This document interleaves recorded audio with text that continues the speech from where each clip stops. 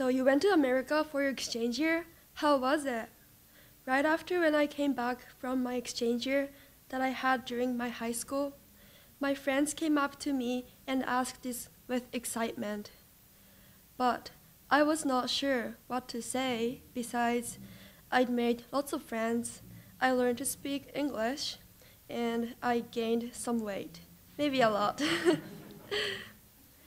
when I was 15, I chose to go to the United States, and I happened to be in a small town in Iowa, surrounded by cornfields.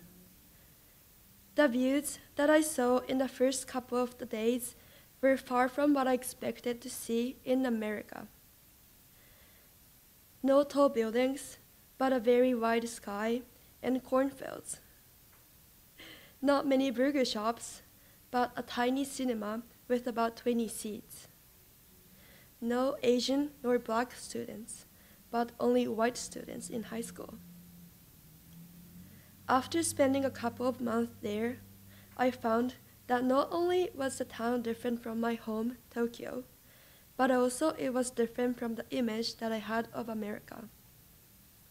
I began to feel lonely, insecure, and vulnerable.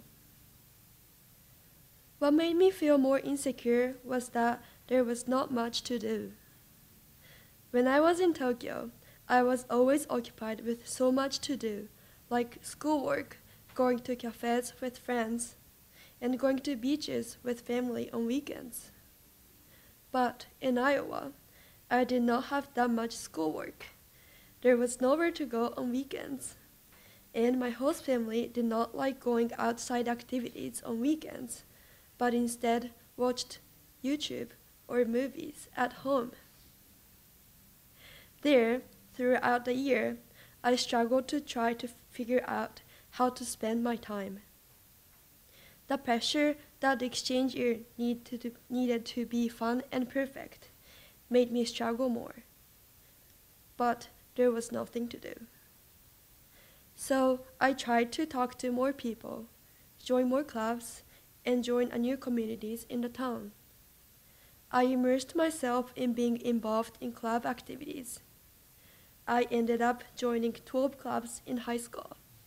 I'm gonna number this basketball, tennis, cross country, business club, jazz band, concert band, marching band, show band, choir, volunteering, drama, and speech. There we go. Almost all the clubs that my high school had. At that time, I was just doing my best. After coming back from Iowa, I had a couple of chances to talk to people about how my exchange year was. I was not sure how I changed. But as old exchange students who went to America would say, I also told people. I became more outgoing. However, it was really a month ago when I was talking with my friends that we've known each other for more than 16 years that I noticed how my time and struggle in Iowa made me grow up so much.